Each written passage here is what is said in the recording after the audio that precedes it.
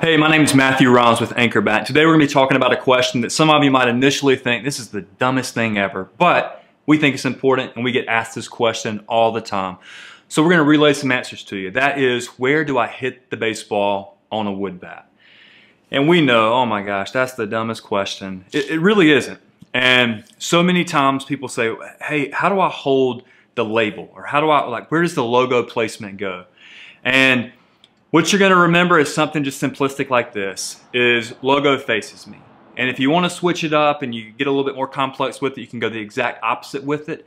But when you're hitting the baseball, you want to hit it perpendicular with the logo.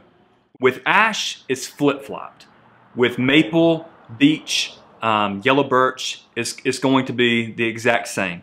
You want to hit the ball actually on the face of the grain. It's something that Major League Baseball changed a few years ago with a, a, lot of research and study to determine that the face of the grain on those particular three wood types, maple, you know, the one that the majority of the, the market is using now, you want to hit it on the face of the grain and not, not with the grain anymore.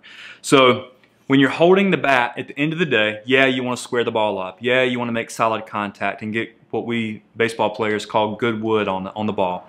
Um, but at the same time, you want to make sure that the logo is facing you. So when you're hitting the baseball, we want to hit it right here, not with the logo, but rather opposite of the logo, um, or perpendicular with the logo.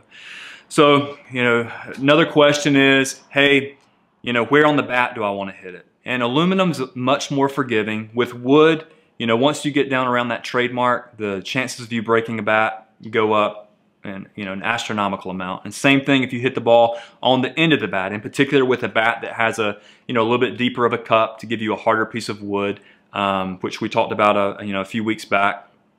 But you know the ideal spot is the same as it would be with the, you know with aluminum is, is you want to make sure that you're you're hitting the ball on the sweet spot of the bat. So not a dumb question.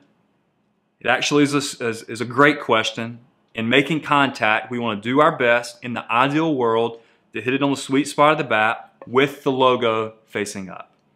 Hopefully that answers some questions for you guys.